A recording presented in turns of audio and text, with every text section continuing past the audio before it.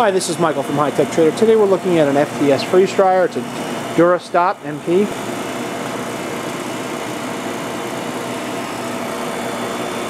Pulling vacuum, chilling. There's your vacuum pump running nice and quietly. Chamber one. Chamber two. You have some thermocouples. Um, there's some uh, positions do the up and down. I'm going to use the up and down button here. Watching the trays go up.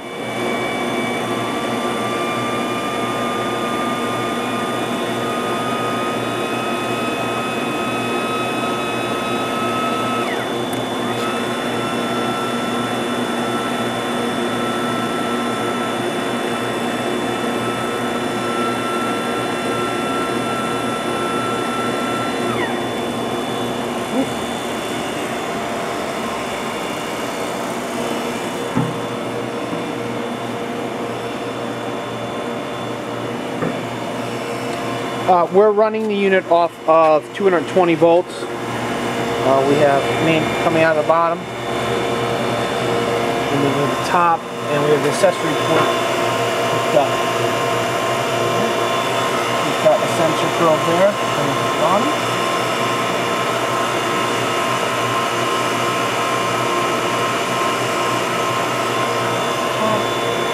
Back. Port on the side when fitting this into a room, uh, I do want to mention that's on the left-hand side. You got about eight inches. You have a side there, and this side has a tray. Thank you from High Tech Trader. Please call with any questions. 609-518-9100.